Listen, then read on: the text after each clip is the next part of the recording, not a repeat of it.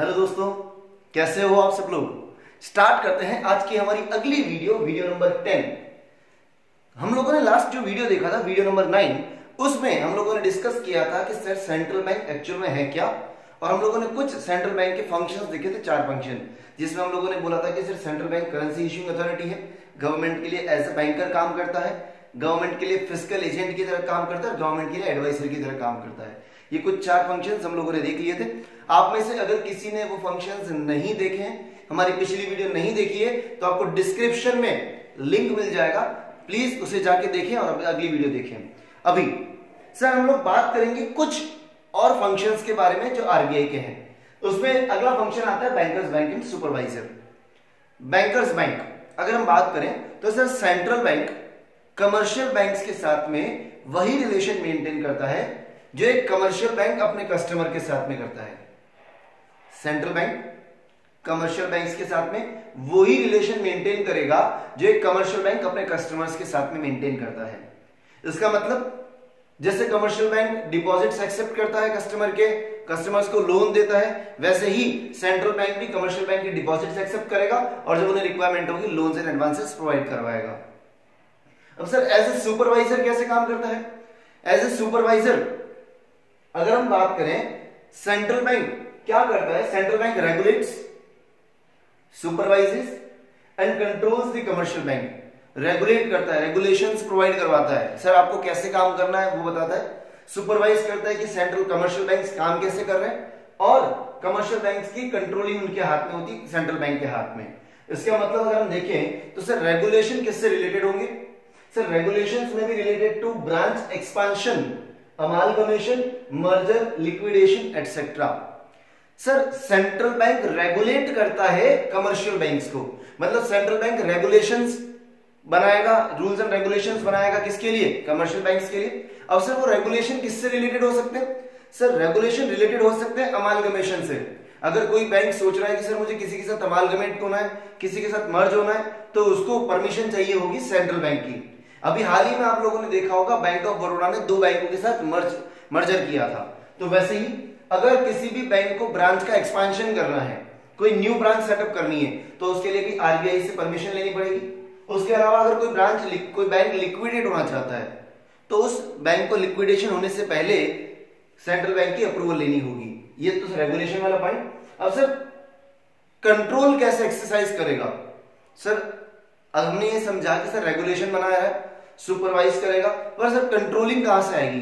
तो बोला जाता है कि sir control is exercise by periodic inspection of books and returns filed by them यहाँ पे देम मतलब कमर्शियल बैंक सेंट्रल बैंक क्या करेगा? कमर्शियल बैंक्स का एक पीरियडिक इंस्पेक्शन करवाता है। पीरियडिक इंस्पेक्शन करवाया जाएगा कमर्शियल बैंक्स का कि वो काम कैसे कर रहे हैं। और उनकी जो बुक्स ऑफ़ अकाउंट्स है, उन बुक्स ऑफ़ अकाउंट्स को चेकिंग होती है। और अगर हम बात करें तो जो कंट्रोल है वो और एक्सरसाइज कैसे किया जाता है? कमर्शियल बैंक्स की एक रिक्वायरमेंट रहती है कि उन कमर्शियल सारे कमर्शियल बैंक्स को आरबीआई के पास एक पीरियोडिकली अपने रिटर्न्स फ़ाइल करवाने पड़ते हैं। तो उन रिटर्न्स के बेसिस पे भी कंट्रोल एक्सरसाइज होता है। यहाँ तक आया समझ में? दो चीज़ें देखी। बैंकर्स बैंक कमर्शियल बैंक के साथ में वही रिलेशन आरबीआई का, जो कमर्शियल बैंक का पब्लिक के साथ में सुपरविजन में देखा कि डायरेक्शन देगा कंट्रोल करेगा रेगुलेट करेगा सुपरवाइज करेगा। Next custodian of cash reserve point number six sir आप में से जिन भी लोगों ने वीडियो नंबर सिक्स देखी है मनी क्रिएशन वाली, उन्हें ये याद होगा कि सर मैंने एक चीज़ बोली थी कि सर सारे कमर्शियल बैंक्स को एक लीगल रिक्वायरमेंट होती है कि उनके पास जो डिपॉजिट्स आ रहे हैं, उसका एक minimum percentage as a reserve side में रखे। अगर आप लोगों ने नहीं देखा है तो वो वीडियो प्लीज़ जाके एक बार ज़रूर देखें। यहाँ पर देखते हैं कि sir custodian of cash reserve मतलब क्या? कि सर सेंट्रल बैंक क्या करता है कि सारे कमर्शियल बैंक्स का एक कैश रिज़र्व अपने पास में मेंटेन करके रखता है। Sir central bank commercial bank का कैश अपने पास में रख रहा है। अब ये देखते क्या होता है। कि सर, हर एक कमर्शियल बैंक की लीगल रिक्वायरमेंट होती है कि उसके पास में जो भी डिपॉजिट्स आ रहे हैं उन डिपॉजिट्स का एक सर्टेन परसेंटेज कैश की फॉर्म में आरबीआई को जमा कराना ज़रूरी है। सारे कमर्शियल बैंक की एक लीगल रिक्वायरमेंट है। उनके पास में जो भी डिपॉजिट आएगा, मान लीजिए एक लाख रुपए का डिपॉजिट आया, उस एक लाख का सर्टेन परसेंटेज मान लेते हैं सर टेन परसेंट वो एक लाख का टेन परसेंट सारे कमर्शियल बैंक्स को आरबीआई के पास जमा कराना ज़रूरी है in the form of cash और ये जो परसेंटेज होगा ये जो परसेंटेज कैश की फॉर्म में आरबीआई को जमा कराते हैं, उसको बोलते हैं C R R cash reserve ratio you deposits का सर्टेन परसेंटेज आरबीआई के पास जमा कराना है। किसको? कमर्शियल बैंक्स को। तो ये जो सर्टेन परसेंटेज कैश की फॉर्म में देना है, इसको क्या बोलेंगे? सीआरआर एक बार देख लेते हैं फटाफट।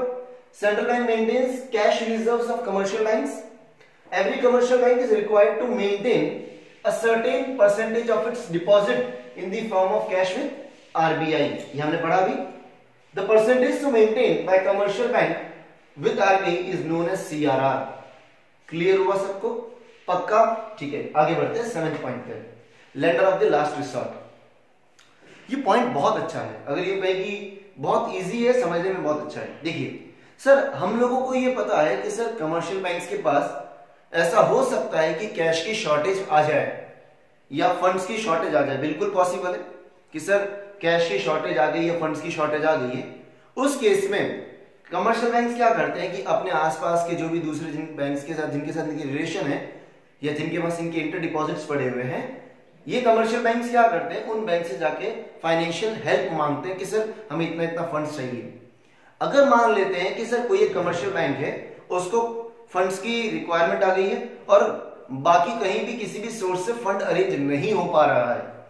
अगर फंड की रिक्वायरमेंट है कमर्शियल बैंक और फंड्स का अरेंजमेंट नहीं हो पा रहा है, उस केस में central bank as a lender of last resort काम करता है। मतलब जब सब हाथ खड़े कर दें, कोई पैसा देने से मना कर दे तो किसी भी कमर्शियल बैंक को तो उस कमर्शियल बैंक जोली फैला सकता है किसके सामने? सेंट्रल बैंक के सामने।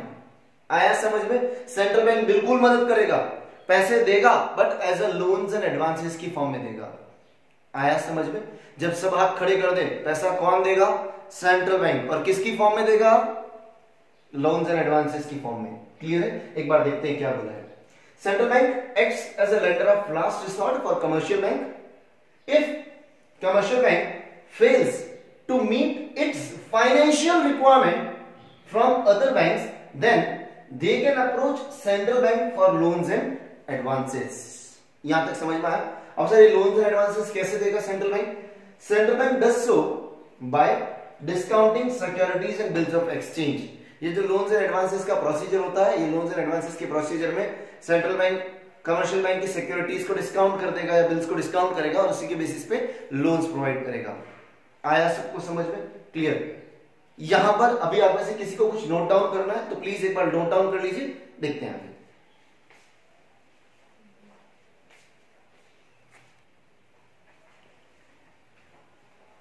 चलिए आगे बढ़ते हैं। अभी तक हम लोगों ने तीन फ़ंक्शन और देखे बैंकर्स बैंक एंड सुपरवाइजर क्या कस्टोडियन ऑफ़ कैश रिज़र्व और लेंडर ऑफ़ लास्ट रिसोर्ट दो और फ़ंक्शंस की ओर बढ़ते हैं। सर सेंट्रल बैंक कस्टोडियन है किसका? फॉरेन एक्सचेंज रिज़र्व का। Central bank is a custodian of foreign exchange reserve foreign exchange आप लोगों ने सुना हुआ ज़रूर होगा। फॉरेन एक्सचेंज मतलब अगर हम बात करें फॉरेन करेंसी की बात हो रही है। आरबीआई एक कस्टोडियन है किस चीज़ का? फॉरेन करेंसी का। देखिए क्या लिखा हुआ है।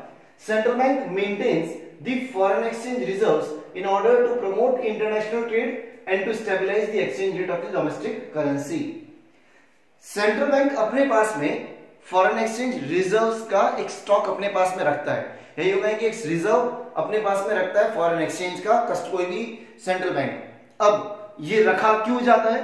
ताकि इंटरनेशनल ट्रेड को प्रमोट कर सके, जो हमारे एक्सपोर्ट इंपोर्ट्स हैं उनको हम प्रमोट कर सके। और उसके अलावा, अगर कभी हमारी डोमेस्टिक करेंसी की वैल्यू बहुत ज़्यादा इंक्रीज या बहुत ज़्यादा डिक्रीज हो जाए तो उस डोमेस्टिक करेंसी की वैल्यू को स्टेबिलाईज करने के लिए इस फॉरेन एक्सचेंज रिज़र्व को मेंटेन किया जाता है। अब सर फॉरेन एक्सचेंज रिजर्व्स के थ्रू कैसे हम लोग अपनी डोमेस्टिक करेंसी की वैल्यू कम ज़्यादा करेंगे? ये हम लोग देखेंगे, एक हमारे पास पूरा चैप्टर है फॉरेन एक्सचेंज का, वहाँ पर हम लोग पूरा प्रॉपर समझेंगे कि कैसे डोमेस्टिक करेंसी की वैल्यू को कम ज़्यादा किया जाता है यूजिंग फॉरेन एक्सचेंज रिजर्व्स आया समझ में? हमारे लिए यहाँ पर इतना समझना ज़रूरी है कि सर आरबीआई एक कस्टोडियन है फॉरेन एक्सचेंज रिजर्व्स का, वो अपने पास में फॉरेन एक्सचेंज रखता है in order to promote international trade and to stabilise domestic currency value of domestic currency आया समझ में?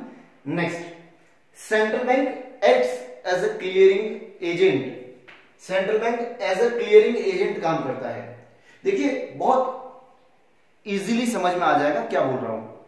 कि सर, हर बैंक का किसी न किसी दूसरे बैंक के साथ में कोई ना कोई ट्रांजेक्शन ज़रूर होता है। या तो किसी को, मान लीजिए किसी बैंक से लेना होगा या किसी न किसी बैंक को, किसी दूसरे बैंक को देना होगा। मतलब कोई ना कोई बैंक किसी के लिए डेटर होगा, कोई ना कोई बैंक किसी के लिए क्रेडिटर होगा। अब सेंट्रल बैंक क्या करता है? सेंट्रल बैंक के पास में हर एक कमर्शियल बैंक का कुछ ना कुछ कैश रिज़र्व का अमाउंट पड़ा है। सेंट्रल बैंक के पास में हर एक कमर्शियल बैंक का कोई ना कोई अकाउंट ओपन होकर रखा हुआ है, क्योंकि सर अगर कोई कमर्शियल बैंक अपना पैसा जमा कराएगा आरबीआई के पास में तो उसका अकाउंट ओपन किया जाएगा। अब, जब इंटरबैंक डिपॉजिट्स को क्लियर करने की बात आती है, मान लीजिए बीओबी का ट्रांजैक्शन एसबीआई के साथ है एसबीआई का पीएनबी के साथ पीएनबी का, मान लीजिए कैनरा बैंक के साथ है। कैनरा का पीएनबी और कैनरा का एसबीआई के साथ इस तरह के मल्टीपल ट्रांजेक्शन होते हैं। अब, इन ट्रांजेक्शन को कैसे क्लियर किया जाए, उसके लिए आरबीआई क्या करता है? बुक एंट्री पास करता है। जो अकाउंट्स के बच्चे हैं, उनको बहुत इजीली समझ में आएगा। हम लोगों ने, अगर आपको ध्यान रेक्टिफिकेशन एंट्रीज पास करी थी लास्ट ईयर इलेवेंथ क्लास में। तो उसी तरह से आरबीआई भी क्या करता है? कुछ एंट्रीज पास करता है। उन एंट्रीज को पास करके इंटरबैंक डिपॉजिट्स इंटरबैंक जो भी लेन देन है, वो लेन देन क्या हो जाते हैं? क्लियर हो जाते हैं। इंटरबैंक जो लेन देन है, वो लेन देन क्या हो जाते हैं? क्लियर हो जाते हैं। और ये तभी पॉसिबल है जब आरबीआई के पास कैश रिज़र्व हर कमर्शियल बैंक का हो और हर कमर्शियल बैंक का आरबीआई के अंदर अकाउंट हो। और ये बिल्कुल होता है। RBI as a clearing agent काम करता है सारे कमर्शियल बैंक्स के लिए। कमर्शियल बैंक्स के जो भी इंटर डिपॉजिट्स है, वो आरबीआई क्लियर करवाता है और कैसे पॉसिबल होता है ये? बाय बुक एंट्रीज और क्यों पॉसिबल हो रहा है? क्योंकि आरबीआई के पास हर कमर्शियल बैंक का कैश पड़ा हुआ है in the form of reserve और आरबीआई के पास हर एक कमर्शियल बैंक का अकाउंट ओपन होके रखा हुआ है। यहाँ तक आप सभी लोगों को क्लियर हुआ? हम लोगों ने क्या देखा? ठीक है। नेक्स्ट हमारा जो आने वाला लेक्चर होगा यूँ कहें कि आने वाले जो दो से तीन लेक्चर होंगे हमारे most most most important lecture आने वाले हैं।